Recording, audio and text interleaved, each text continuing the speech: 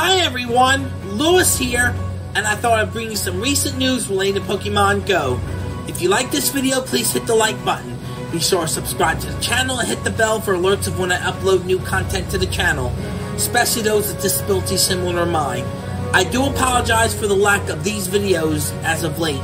Things in life, including my mental well-being, have been the reasons why. But I'm back, and I'm here to tell you Niantic has given us a lot. And we're going to start with the new Community Day. And that is Poplio, which will be on Saturday, August 31st, 2024, from 2 p.m. to 5 p.m. local time.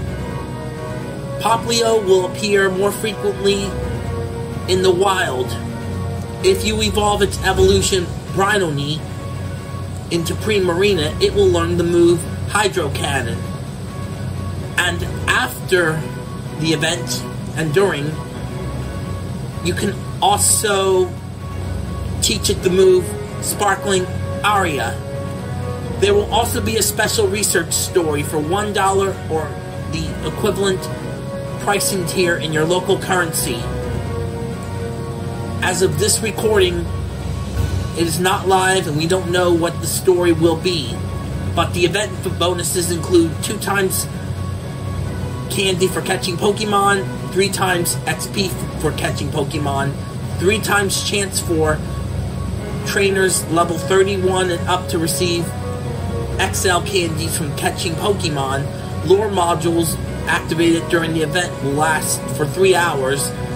Incense excluding the daily venture incense activated during the event will last for three hours.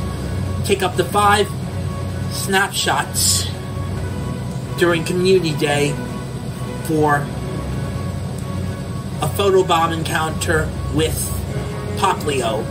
One additional special trade can be made for the maximum of three for the day. Trades will require 50% less Stardust. And Brionne will appear in 4-star raids after Community Day. If you complete the raid near the gym where it took place at, Poplio will spawn and you'll get another chance to catch a shiny. Also announced Pikachu's Indonesia journey which will cost about 150 rupiah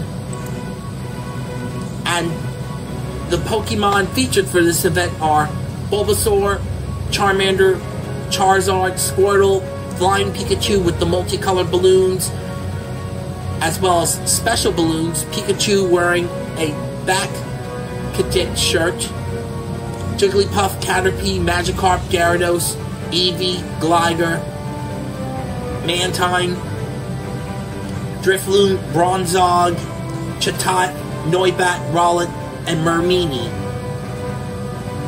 will all be available as shinies. All the Kantonian starters will also appear in one-star raids, while Charizard, Gyarados, and Dragonite will be in three-star raids, and Mega Latios and Mega Latias will return as part of Mega Raids.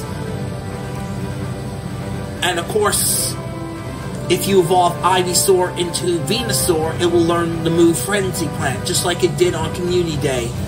Same goes with Charmeleon Charizard for Blast Attack, and Wartortle for Blastoise with Hydro Cannon. In other Pokemon news, we got Ultra Unlock bonuses for completing Go Fest. We will get Mega Lucario Raid Day, which will be this coming Saturday on July 27th, 2024, from 11 a.m. to 5 p.m. local time. Mega Lucario will be appearing in a lot of raids. The feature attack will be Force Palm, and you'll be able to catch its shiny form too. Togedemaru will appear as a shiny in, in another Ultra Unlock bonus, which will start Thursday, July 25th at 10 a.m. to Tuesday, July 30th, 2024, 8 p.m. local time, which by the time this video is up, the event will likely have already been started. You will get a Alolan Sandshrew, Magnemite, Pineco, Nosepass, Aron, Beldum, Bronzor, Ferroseed, Galarian, Stunfisk, and Togedemaru, Onix, Scyther, Skarmory, and Klink. All are available as shinies. And some of these Pokemon will also appear in one star raids, and for three star raids, Steelix, Scizor, Mawile, and Aggron. They will also be available as shinies. There will also be field research tasks, a timed research event, which is free along with collection challenges, Pokestop showcases, and there will also be a couple of safari zones.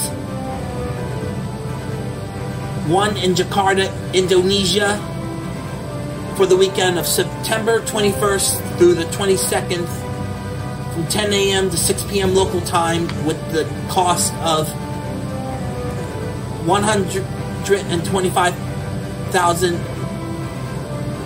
rupiah. And the Pokemon that will be spawning for this event will be Eevee with an Explorer hat, and you can evolve it into all of its evolutions from Kanto to Kalos. And just like the Pikachu's Journey event, the two Pikachu variants will also be available for this, in addition to the final evolutions of the Kantonian starters and, and so forth. And you'll also be able to catch some of the region exclusives as shinies, and Skiddo will be back. And it'll also be coming to Incheon, South Korea, where you'll get a Pikachu variant with the Safari hat and other Pokemon, and Skiddo will also be available. It will cost you about 11,000 won. One more thing. I have exciting news. I'll be going for my PADI Advanced Mermaid next week. And I couldn't be more excited.